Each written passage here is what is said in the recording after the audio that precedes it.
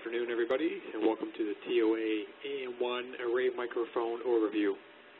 Today we're going to go over basically the features and benefits of the new TOA AM1 microphone. Just give you an understanding of how it operates, a quick look at the iOS app, uh, app for it, and kind of just go over just the general functionality of the microphone itself. So product overview. First we're going to look at the technology then we'll go into the components of the actual microphone when you do purchase one. We'll take a quick look at the iOS software, and then we'll head over to uh, look at the connections of basically how to set a unit up uh, in a, basically a scenario and what's required for connections to external devices. So a little bit of information behind the technology. Basically what the TOA engineers did is almost reverse engineer one of our line arrays. So you think of it uh, as a line array with the speakers kind of all together in a cluster. They essentially do the same thing with a microphone. So in this unit here, basically it does real-time steering for the microphones. It basically tracks audio sources continuously, and within that area, basically, you have your eight microphone elements. Now, these eight microphone elements within the AM1 constantly, uh, constantly detect sound sources. Essentially what they're doing is uh, monitoring and looking for sound sources across the 8 microphone plane that's on the AM1. Like I mentioned before, it does have a line array effect with a narrow horizontal dispersion angle. And the great thing about this little unit is there's no analog connection kind of uh, setup and configuration. It's basically plug and play, and what you do is you set up your iOS software, which we'll get into a little bit later on here, and that allows you to do monitoring, live tracking, and a whole microphone setup. So it's a quick, uh, quick kind of easy little app, of, uh, app that we have that essentially allows you to configure the units, and then once you do that, you're up and running.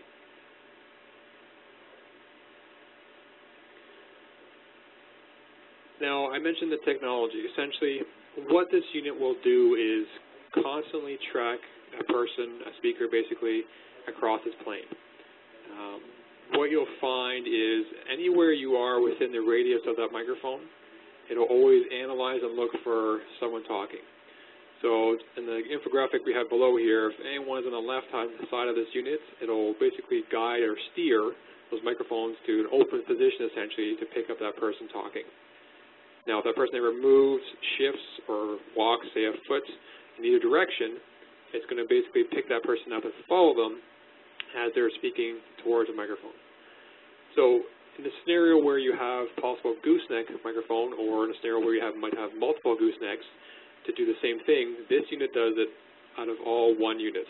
So now you're going to remove scenarios where you would have, say, multiple condensers, say, um, platform or condenser uh, podium microphone set up. And in this scenario, you'd have this unit in that place. Now there's a few components that you need when you do uh, get the unit. That basically allows it to operate uh, the microphone and give you an analog output to your uh, mixer device or whatever recording device you want to go with. So the first up will be the AM1C control unit. This little unit is the, basically the interface that connects a microphone and converts the information that it receives and gives you an output to go to your mixer. It runs on 24 volt DC it has your microphone input, obviously, with the level gain control. It also has a selectable uh, XLR audio outputs, which is ranged from anywhere from plus 4, minus 10 to minus 50. So that's handy for when you want to go to mixing consoles, mixer amplifiers that require, say, a line level inputs or possibly a mic level inputs. We can do that basically right off the back of this unit. It also has a digital output as well via XLR if that is needed to go to a dig uh, digital mixing console. It also gives you LED indications on the front of the unit for power and mute control. Now, connecting to that device is the AM1M microphone. And this pulls its power from the AM1C at 24 volt DC. The frequency response to the unit is 150 hertz to 18 kilohertz. And the voice capture range from this unit is up to 3 meters away and the tracking is up to 180 degrees. So it's 180 degrees across the plane of the microphone which they'll track. From the front of the microphone, if you're looking at it, say dead on, it's got a narrow 50 degree directivity. basically that's assuring minimal acoustic feedback. So essentially, in a way, you're looking at multiple microphones, like I said, for eight of these units, almost in a boundary microphone setup, where everything is eliminated from the back of the unit and everything is concentrated going out at a 50 degree angle above and out forward towards the speaker. It does have built-in level compensation for reduced volume variations. And the key thing here as well is you can go up to 200 feet away from your controller unit. That's great for scenarios where you have a church podium set up or possible conference room table where you need to run an outboard mix somewhere else. You can go up, and, like I said, 200 feet away from this microphone all the way out to your AM1C. You'll note as well on the right-hand side of the unit, there's a silver little button. That's your mute control. Essentially, you can have mute on off on the unit as well, physically, as well as run that from the iOS software.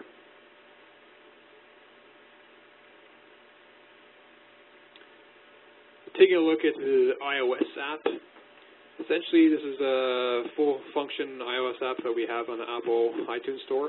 It is free, so it's a free download, there's no charge for it. And essentially what this does is essentially lets you set up and control the microphone. You will need this app if you do want to set up and configure the microphone itself. It's definitely recommended to have this opposed to going through the software uh, via web browser. Uh, the app obviously has, allows you to visually see the tracking as well as do a lot more control than you would be uh, going through a web browser. The app also gives you real-time monitoring. And it gives you detection of the sound source location. The signal level of eight individual microphone elements is displayed your tracking range, the sensitivity, and actual speed of the tracking is also set up. So if you look at the right-hand side there in the little window there, all that sliders that you see are all customizable, okay? You can basically have any distance limits, any angle limits, and any speed configuration set up to your liking. If you want to, say, have an aggressive speed set up for tracking speed, for instance, because the talker that is using the particular microphone for that day is moving around constantly, you can bring that up and increase the speed. If you want to reduce the length or the distance, how far away you want to do uh, pick up within that 3 meters, you can also do that. You can actually narrow the field within a certain range. The three points that you actually see on the window there, the right, left, and the bottom center point, those are all adjustable. I can bring in my narrow beam width, essentially, if you want to call it, to any direction I like. So, for example, if you know a speaker is only going to be ever on the left-hand side of this microphone, never move around, I can cut off fully of a 90-degree angle on the right-hand side if I wanted to, and block that out, eliminate that. Even if someone else is actually speaking over there, the microphone will ignore that. It'll see the person on the right-hand side, for instance, but it'll actually ignore it because the window that you set up for this unit is only working in that range. We also have our gain compensation your on-off, uh, remote on-off essentially for the iOS software. You want to do that as well. And like I said before, your distance adjustment uh, threshold. Okay, moving along, we also have your duration adjustments. Basically, how long you want to trace in a particular area. You can actually time monitoring of a sound source footprint. It is in milliseconds, so essentially you can kind of bounce around of how long and how aggressive you want it to stay in a particular area. We can also disable the mute switch physically on the microphone. So if uh, this is in a remote area, you have an operator with the iOS app. Uh, all of a sudden, you have a speaker go up there, and they, they're for some reason constantly pressing the on-off or mute button on physically on the AM1 microphone. You can actually disable that from the app and, and basically eliminate any features or problems of people messing around with that. Uh, we have our output gain level adjustment as well. So if you want to boost your signal from the AM1C controller to your mixer, you can do that as well. Like I mentioned before, it is a free app, which is great. So it's basically, once you get the units, you download the app to your iPad, and you'll be up and running in minutes. Taking a look at some connections. Essentially, here's what you need in order to get this microphone up and running. Obviously, you get the microphone unit with the AM1C controller. You will want to have your wireless uh, hub, switching hub there connected uh, to the iPad. That way you can have a Wi-Fi connection. Typically your iPad would be on the same network range. That way you can walk around with the iPad and know it's connected to the AM1C controller. From there, basically you'll take your analog or digital outputs from the M1C, jack it into any mixer, and like I mentioned earlier, you do have that flexibility of going into either a line level input or a microphone input. Yeah, if you do want to control multiple uh, units, you'd have to have separate addresses set up, obviously, for each one, and then obviously the app uh, itself that would connect to them would only be able to run, obviously, and monitor one at a time. So basically, you connect the first one, set it up, configure the way you like to, and then disengage from that one, move over to the next address of the newer units, and then obviously set that one up and continue on.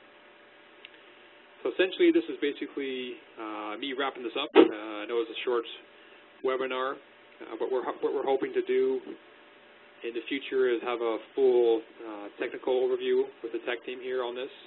It'll most likely be uh, WebEx based, so you guys actually see the iPad running with us controlling it and have like a live seminar set up. So look for that uh, information to come down uh, the tube there shortly.